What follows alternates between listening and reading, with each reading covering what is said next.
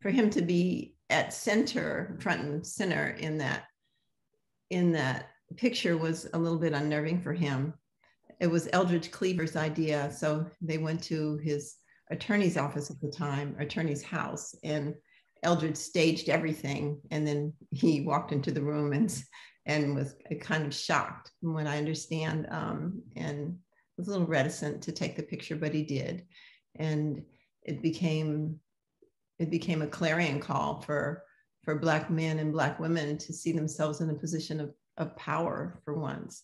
Um, this is right at the backdrop of the civil rights movement, where the images of of those courageous civil rights workers were ones of being hosed and gunned down and, and um, with um, dogs sick on them. And, and the message was um, loved and turn the other cheek. And the message of um, the Black Panther Party was one of love as well, but it was to determine the power of your own destiny and to, and to defend your community and to fight against oppression and to fight against uh, police brutality and killings in your community. So this was a position of power.